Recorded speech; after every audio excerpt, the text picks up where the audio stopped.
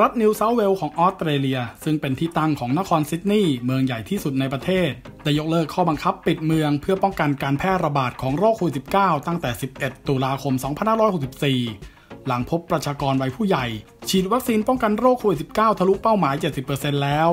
นั่นทำให้วัยรุ่นบางส่วน แห่ไปรอเข้าผับกันตั้งแต่เที่ยงคืน เพื่อได้สังสรรค์กับเพื่อนฝูงเป็นครั้งแรกในรอบเกือบ 4 เดือน ขณะที่คาเฟ่ศูนย์ออกกำลังกาย ร้านอาหาร โรงภาพยนตร์และโรงละคร ก็กลับมาให้บริการอีกครั้ง แก่ลูกค้าที่ฉีดวัคซีนครบแล้ว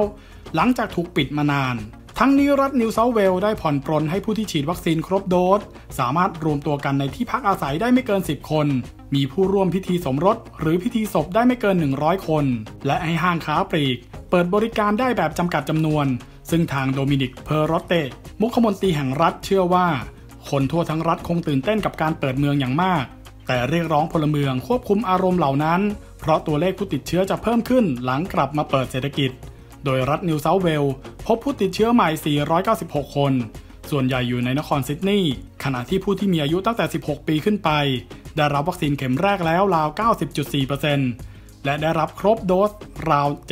74%ซึ่งรัฐก็พยายามให้ชาวบ้าน เข้ารับวัคซีนให้ได้ 80%ในช่วงปลายเดือนตุลาคมนี้ แต่ทว่าก็ยังจำกัดเสรีภาพของผู้ที่ไม่ได้ฉีดวัคซีนอยู่ โดยจะต้องอยู่แต่ในที่อยู่อาศัยไปจนถึง 1 ธันวาคม ทั้งนี้ออสเตรเลียกำลังวางแผนใช้ชีวิตอยู่ร่วมกับไวรัสด้วยการฉีดวัคซีนอย่างทั่วถึง แล้วค่อยๆ เปิดประเทศแบบค่อยเป็นค่อยไป โดยจะอนุญาตให้ผู้ที่ฉีดวัคซีนครบ สามารถเข้าออกประเทศได้อย่างอิสระตั้งแต่เดือนพฤศจิกายนนี้